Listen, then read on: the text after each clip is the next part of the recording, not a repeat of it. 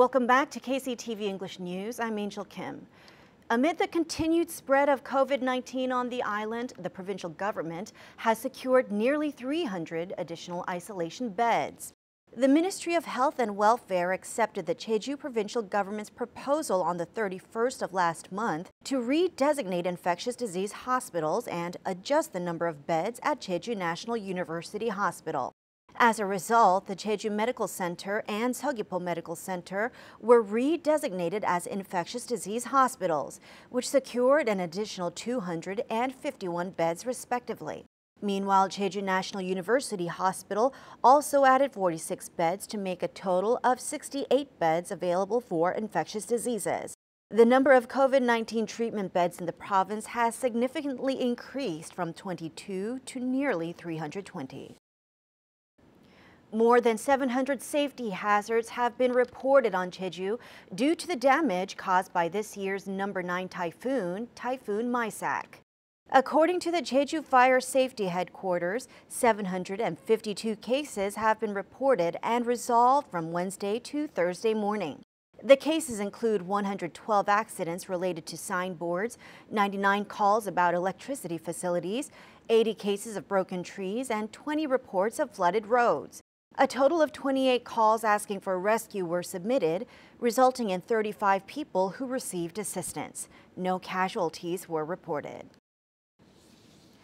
The second round of Jeju COVID-19 Emergency Support Fund has been paid to more than half of Jeju's residents so far. According to the Jeju provincial government, the online application for disaster support funds opened on the 24th of last month and 36.7 billion won, which amounts to about 58% of the total, has already been distributed to 150,000 households as of September 2nd. The province plans to cancel the five-day rotation system based on the last digit of birth year for online applications on the 5th, and the system will be open to receive all online applications on a rolling basis. Moreover, starting from next week, applications will also be available on site at local community centers. Once on site applications become available, the five day rotation system will apply for one week until the 13th after which the regulations will be lifted and residents will be able to apply at any time.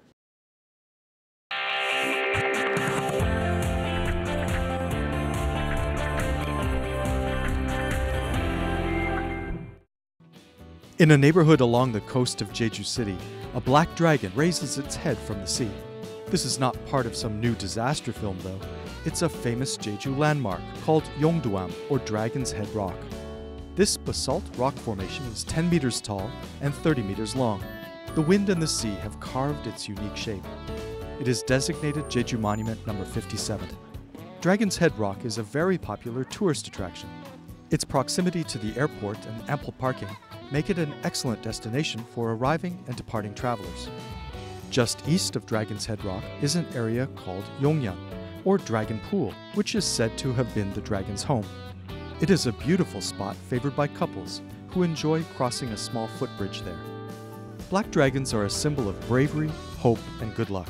So, if you do visit Yongduam this season, be sure to make a wish while there. It might just come true. Todd Thacker, KCTV. Thank you for joining us today at KCTV English News. Please follow us on YouTube at KCTV E News Jeju and on KCTV's VOD service. Have a great weekend and we'll see you again next week.